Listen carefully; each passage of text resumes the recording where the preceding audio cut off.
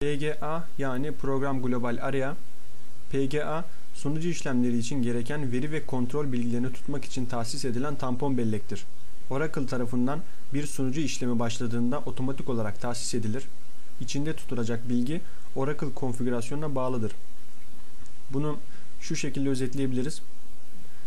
Bir client ile örneğin SQL Developer ya da herhangi bir client e, sizin yazdığınız program olabilir vesaire.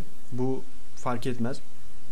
Program, Oracle veri tabanına bağlanan her, herhangi bir programla, istemci program ile bağlandığımızda Oracle tarafında bir session oluşturulması gerekir. Çünkü veri tabanına bağlantı ancak bu oturum bilgisiyle bu e, session ile sağlanabilir.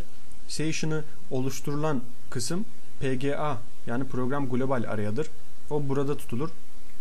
Bunun e, logon bilgileri yani kullanıcı oturum açtıktan sonra işine yarayacak ya da oturum açarken işine yarayacak e, bazı bilgiler gene program global araya da tutulur.